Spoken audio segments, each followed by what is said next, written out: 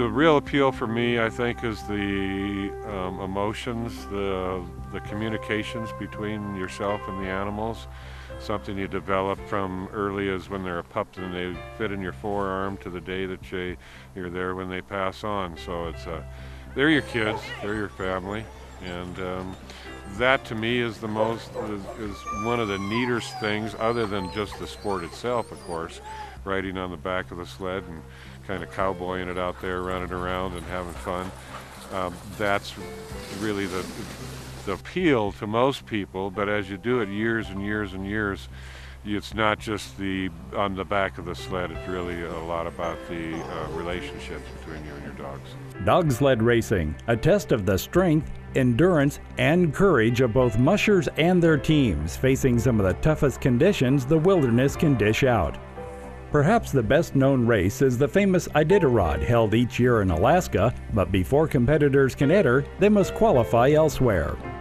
This January, a dozen teams from across the continent will test themselves on a lonely 220 mile trek through three national forests in the shadow of majestic Mount Shasta.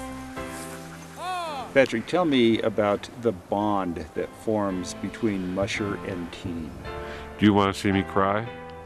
no, um, it, it is special. It, it, it's, you know, you, like I said earlier, they're your kids. Um, and, and to see, like in this race in particular, that effort, um, you, you just don't, I don't know how to explain it. it it's, it's, uh, there's times I'm writing a story about it and it amazes me how I'm comparing my lead dog's end of it from my end of it. And we're both uh, have a, a, the point of view from the lead dog and mine.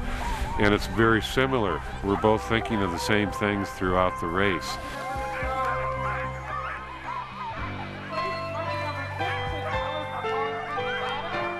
Of course, you're thinking about the trail and what's up ahead of you all the time. You're constantly aware of the trail conditions, um, what they're going through, so that you learn how to pace your team. You can uh, lose on a distance race. You can lose that race in the first 50 miles by not running them, by letting them just get out there because they're so amped up and ready to go. I really believe that the dogs um, experience many of the feelings that you do during the race. They're so human.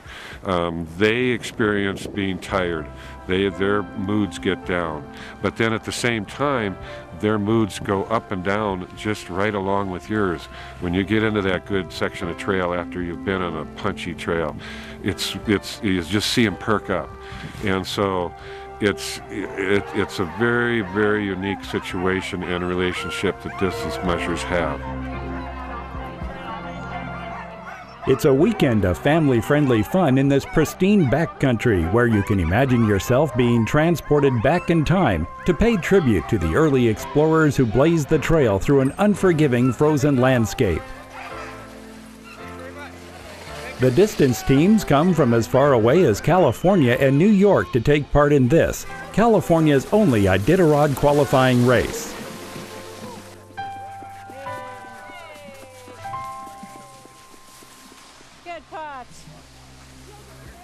In addition to the 220 mile main event, dog teams of various sizes will compete in sprint and mid distance races, as well as the crowd pleasing sport of ski joring.